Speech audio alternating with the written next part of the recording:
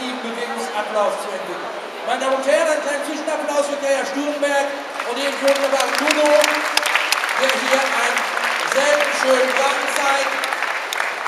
Wir haben vorhin das Pferd Trab sehen und haben gesehen, dass das Pferd im Trab eine etwas flachere Vorhandbewegung hatte, als er es jetzt in Köln hat.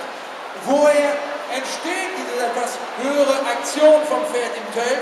Durch die vermehrte Gewichtsaufnahme durch die Hinterhand ist die Vorhand beflügelt. Die Vorhand trägt weniger Gewicht, als sie es im Trab gemacht hat und kann sie dadurch in eine viel höhere, rundere Bewegung entfalten, als es vorhin im Trab war.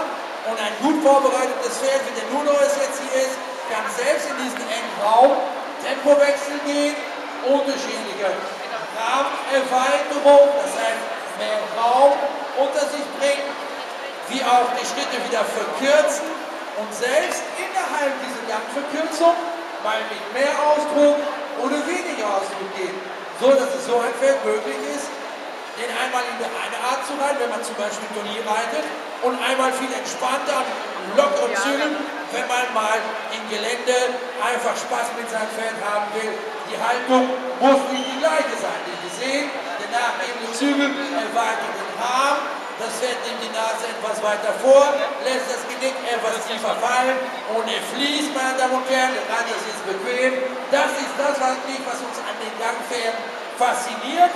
Ja, äh, Dressurreiten ist, ist, ist nicht ein Ziel, den wir verfolgen, sondern eine Notwendigkeit, um unsere Gangpferde gerecht zu werden, haben wir uns dazu entschieden, uns in der Dressurreiterei weiterzubilden, so dass es uns möglich ist, unsere Gangpferde lange Jahre gesund und in einer biomechanisch korrekten Form zu reiten.